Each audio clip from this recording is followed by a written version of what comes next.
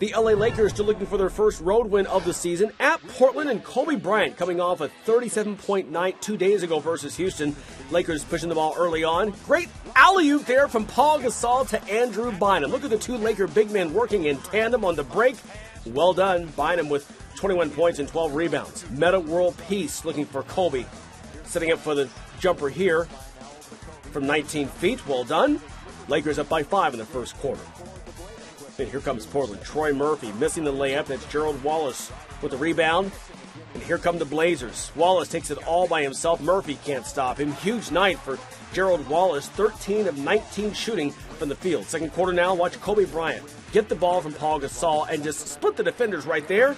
Some nifty dribbling. Gets it in for the layup. 30 points for Kobe to go with eight rebounds. Marcus Camby says, uh, hey, we big men uh, for Portland could also work the alley oop. Camby to Lamarcus Aldridge at a double double, 28 points, 10 rebounds. Steve Blake gets this to Bynum. The layup here, but watches Bynum comes up limping after the play.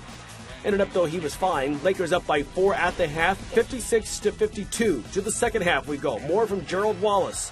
Had a couple steals in this game. Here's one. Drives down, gets fouled by Kobe. The and one, game high 31 points for him. I mentioned the two steals and one of the plays of the night anywhere in the league. The quick outlet for Wallace and the windmill dunk. what is this, a dunk contest in Portland? Wallace doing everything. Portland up by four. End of the third quarter. Jamal Crawford with a high arcing three to beat the buzzer at the end of the quarter. 17 points in 23 minutes for Crawford. A 10 point lead at this point, and then Raymond Felton getting it down to Wallace. The easy lay in, 107 96. The Lakers didn't hit a single three pointer, 0 for 11 from the arc.